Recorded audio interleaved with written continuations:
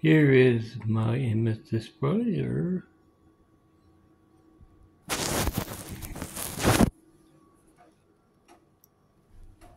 And my image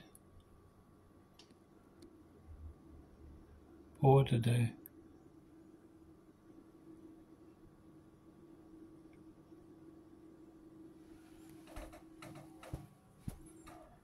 This is your, and that's my imagery.